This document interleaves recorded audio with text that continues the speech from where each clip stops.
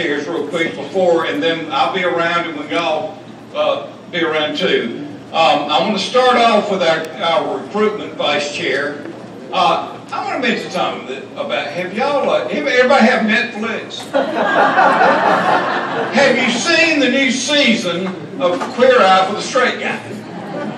If you haven't, you need to go there. Because there's an episode that, that features the mayor of Clarkston, and the title of it is Make Ted Great Again.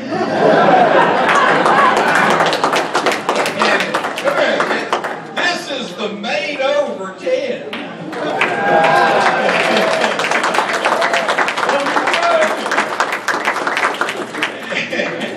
he had his long, he called it the resistance beard. And the uh, Fabulous Five uh, little polishing on it.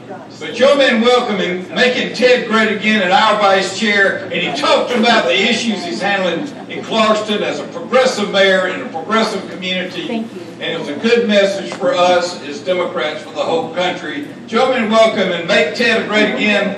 Uh, Ted Chair. Thanks, Chair. I am wearing my new outfit purchased by the Fab Five. Thank you very much. Uh, I did uh, trim the resistance beard because we are resisting still, but uh, we can only resist for so long. Uh, we're on the offensive now. And I wanted to give a brief report. I really appreciate everyone uh, for sticking around uh, for about four hours now. I think someone's been here since about five hours. Um, so I want to talk about two things, where we have been and where we're going with recruitment. Um, we gather here today at the turning of the tide. There is a blue wave coming our way, and it's going to hit Georgia. And unlike in years past, going all the way back to last election cycle to 2004, where we had a lot of would-be candidates who were ready, but maybe not quite ready and willing to jump on that surfboard and ride that wave all the way into a, a Democratic victory. They got stuck on the sandbar. This year, we have had the best recruiting class for state house, state senate, and local candidates, statewide offices in 14 years. So just a couple of stats. Um, and this, um, this is really uh, due in large part to our local recruitment committees. Um, I've been in touch in the last two years since uh, March of 2017 with over 50 local county committee recruitment committees who have been our eyes and ears on the ground. Uh, the people who've been thinking about what that next election is and who do we need to uh, start talking to, what do we need to do to start building that bench. Um, uh, much thanks to uh, also our House and Senate caucus leaders, Bob Trammell and Steve Henson, for their work working with our local uh, recruitment committees. I want to highlight just a few that have um, stood out just in recent, um, uh, this term and then the, the local elections and the Forsyth County Democratic Committee for helping uh, craft a, a, a recruitment handbook.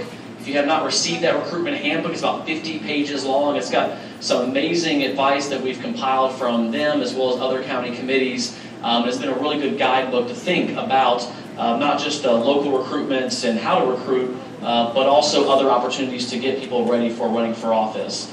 Um, I want to hold up um, Gabe Okoye uh, with the uh, Gwinnett County Committee, who did an amazing job uh, recruiting candidates uh, for a local office in Gwinnett County for city council mayor uh, last cycle, and then having a great recruiting class in Gwinnett this year. Um, is Krista Brewer still here? Krista Brewer, um, also someone I'll hold up, who has been involved uh, going around the state recruiting women to run for office. And it is the year of the women, y'all, because uh, according to the stats that I'm looking at, we have, so we have 121 uh, challenged uh, seats this year, um, either challenging GOP or currently Democratic held. So out of those 121, um, 80 Democratic women are running for state house this year. Out of the 38 state senate seats that we have uh, Democratic candidates in, uh, 26 are women. So the vast majority of our recruiting class um, is women. And this is great. And we, we, saw our statewide candidates as well. So we've got, I think, a compelling message um, uh, and compelling candidates that are running that hopefully will increase turnout uh, across the board. Okay, so where we're going. Um, so we know we've got recruitment committees a lot of our county committees, um, but we don't have them in everyone. And so our goal, and the goal has been since the 2016 election, is to make sure that we have people on the ground in every single county that are now that we're forming an official, uh, large, you know, large recruitment committee, if the bylaw um, section passes, uh, to work with um, on the ground. Uh, you all know what's happening in your local politics. You know what's happening in local city elections and county commission elections, school board elections. You know what spots are open on planning commissions and parks boards. There are tremendous opportunities for us to identify people who are already uh, leaders in your community who should be running for higher office, but also thinking about people in our community that should be appointed or applying to these other positions to get government experience, to learn Robert's Rules of Order, uh, to learn about policy. Um, so these are great proving grounds for us to build that bench in the future. Um, we've mentioned that we have a state committee, uh, our state convention coming up. Um, you know, if you've been to state conventions in the past, these are you know, like Democratic conventions, they're, they're meant for the broader Democratic community.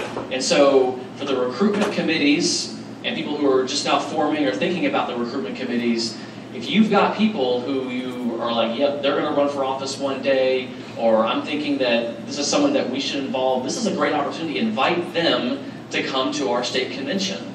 All right, this is a chance for them to hear from all of our statewide candidates, from our leaders, hear speeches. Maybe we'll have some food there. It's, it's a big party, I think. Just think about the DNC convention and how important it is to bring in new people. So this is a great opportunity for us on August 25th uh, to bring new people who may not be coming necessarily to county committee meetings or who won't even come to state committee meetings, but can participate and see how vibrant the Democratic Party is in Georgia. Um, and uh, finally, so as we uh, embark upon creating an official recruitment committee, it's going to be really incumbent upon us to embed the principles of diversity, equity, and inclusion in the candidates that we recruit for office. Georgia is changing demographically. Uh, we want the Democratic Party and the candidates that we recruit to represent the broad diversity of Georgia. We're going to win more elections by putting up people who look like people that we are serving. Um, so this is something that I've had the, the pleasure and the privilege of being trained on in the last several years through my work with uh, the AFL-CIO and the Sierra Club, and I'm looking forward to tra translating some of those um, those trainings and principles into our recruitment committee as we move forward. Thank you all.